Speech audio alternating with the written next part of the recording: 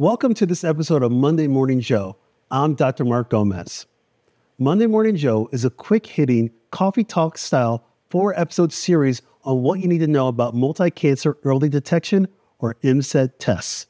The goal of this segment is to provide you with a better understanding of the criteria used to validate MCED testing and how these tests compare to current guideline recommended cancer screening modalities. In the last episode, we talked about the science behind multi cancer early detection. Check it out if you haven't already. Before we begin, please remember to subscribe to the Exchange CME YouTube channel and turn on your notifications so that you don't miss any new episodes in the series. All right, let's get started. As a reminder, last time we discussed the fact that there are four cell free DNA multi cancer early detection tests, or MCED tests, that have received FDA breakthrough device designation.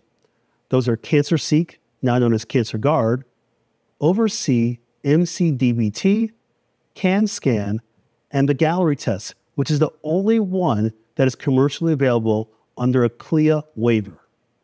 Let's review the criteria used to validate MCED tests in clinical trials. We have sensitivity, specificity, positive predictive value, and negative predictive value. The sensitivity is a test's ability to detect a true positive sample, aka a patient that has a particular cancer. Specificity is the test's ability to detect a true negative. Example, a patient who does not have that particular cancer. We also have positive predictive value and negative predictive value. Positive predictive value is really that patient that's sitting in front of you. They have a positive test.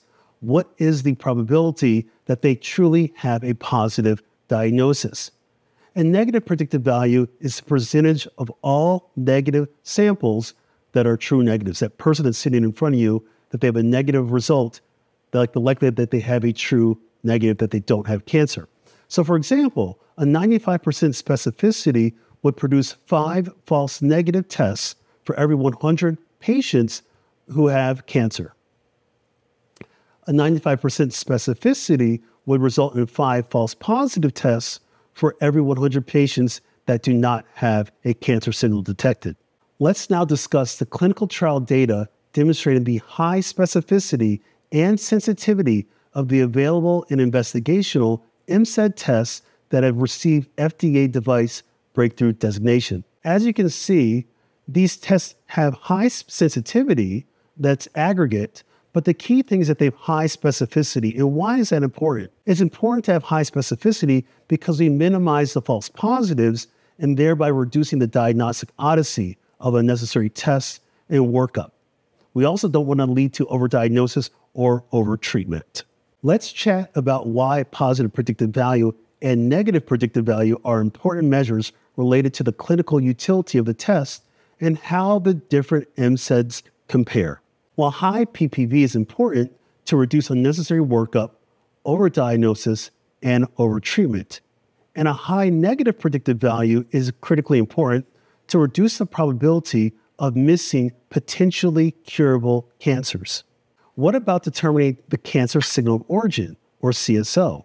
And how accurate are these tests at identifying a CSO? Well, this is important because it allows us to localize where we need to look. If a patient has a cancer signal of origin, we can focus our diagnostic efforts on that particular tissue. In the real world, we are seeing a cancer signal origin of higher than 91% accuracy. Now, I know you're wondering, how do cell free DNA based MCED tests compare to our current guideline recommended single organ screening modalities? Well, let's take a look at screening mammography. Screening mammography has a positive predictive value of 4.4%, meaning that when that patient is in front of you with an abnormal mammogram, they only have a 4.4% chance that they truly have a cancer present. Well, contrast that with a person sitting in front of you who has a positive multi cancer early detection test. The positive predictive value of that is much, much higher that we can tell that patient that there's a high likelihood that they truly have a cancer present.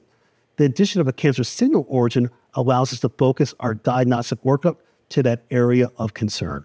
There are many active multi cancer early detection clinical trials that are currently enrolling. The Galleri Reach trial, which we'll talk about on a future episode of Monday Morning Joe, but this is a study that has been funded by Medicare to cover Medicare beneficiaries in underserved populations or seniors that live in underserved areas to get them involved in multi cancer early detection.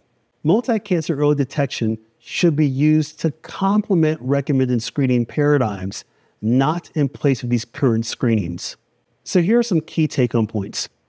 There are several criteria that are important to determine the efficacy of cancer screening tests, including specificity, sensitivity, positive predictive value, and cancer signal origin. Currently, there is one commercially available test in the US that analyzes cell free DNA methylation patterns, but there are several other tests that are in different stages of development but have received FDA device breakthrough designation status. A number of clinical trials with cell free DNA based multi cancer early detection tests are ongoing, and we await the results of these studies. Thank you for joining me today. As discussed earlier, please check back for new episodes on the Exchange CME YouTube page. Clinicians, nurses, and pharmacists can also visit exchangecme.com for free access to CME in a variety of therapeutic arenas. Thanks again. We'll see you in the next episode of Monday Morning Joe, where I'll discuss how to implement multi cancer early detection in your clinical practice.